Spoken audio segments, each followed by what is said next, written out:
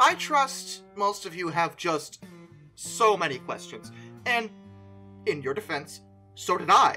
Because how does one wind up having a locomotive, a steam locomotive, underneath the Wells Fargo Center?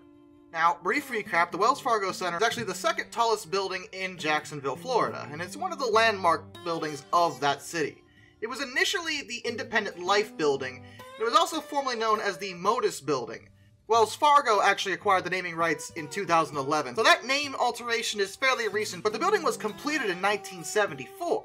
And the building is, well, it's it's a skyscraper, it's an office building. There's really nothing important about that, but that doesn't really explain the locomotive thing.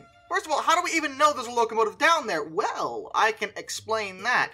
And this story comes firsthand from one of the construction workers who was working on the building when it was being built. See, the building, and by extension its foundation, was constructed in an area very close to the water. And whenever you build a foundation for a large building, especially a skyscraper, it has to be fairly deep into the ground in order to stabilize it. The area they were working in was excavated to a depth of about 20 or 30 feet.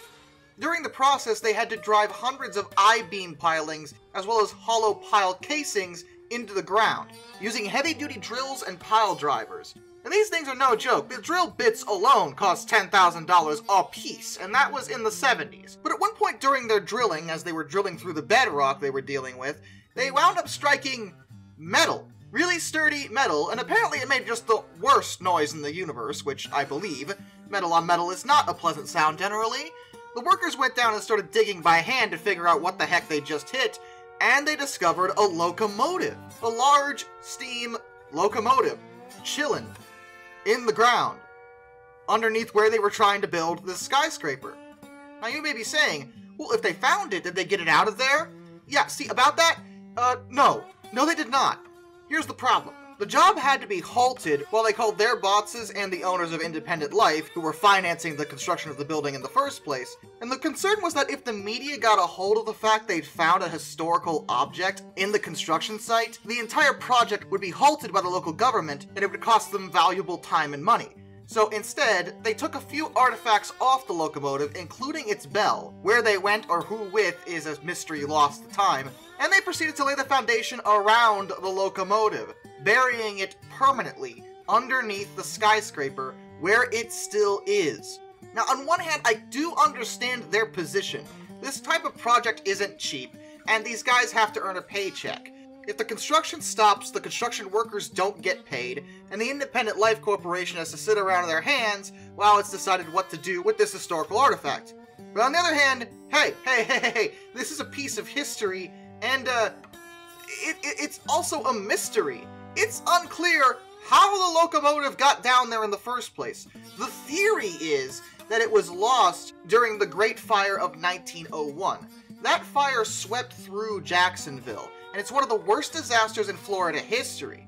It's also the third largest urban fire in the United States, right behind the Great Chicago Fire and the 1906 San Francisco Fire. 146 city blocks, consisting of over 2,000 buildings, were lost in the blaze, and 10,000 residents were left homeless. Now, why would this fire result in losing a locomotive in the ground? Well, that's because during the fire, the waterfront, where the railroad lines operated very close to, was actually destroyed, and a lot of things, including rail cars and possibly a locomotive, were sunk and never recovered.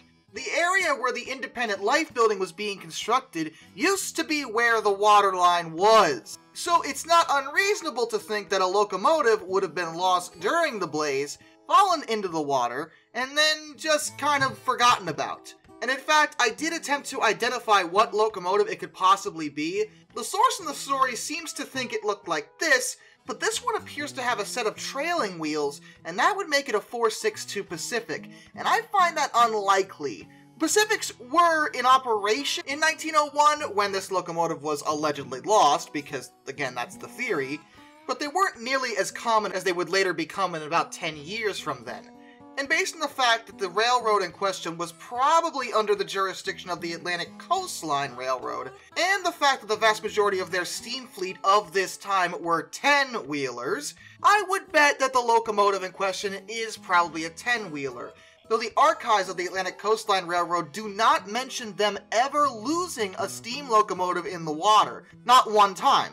Though if it was lost during that fire, it's possible it was seen as a minor issue compared to everything else that was destroyed, so it may have simply been lost in the shuffle as they struggled to rebuild. This locomotive is still under what is now known as the Wells Fargo Center because Independent Life and the construction company they hired couldn't afford to waste time and money getting it out of there. Therefore, it is now a permanent fixture underneath the building as a part of the building's foundation and you may be saying, well, can we get it out of there?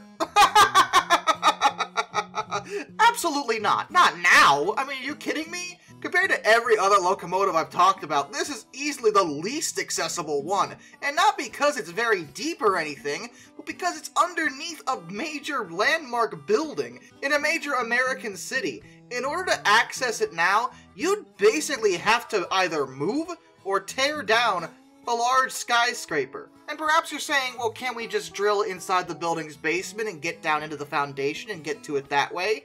Well, I mean, technically you can, but I'm willing to bet there's at least a handful of structural engineers watching this that might be able to explain why that is a horrible idea for so, so many reasons. So unless at some point the city of Jacksonville or another corporation decides to tear down and replace this building, it is likely that this locomotive will forever be lost to time, and we may never know exactly which one it is, just that it's there, still, underneath a skyscraper.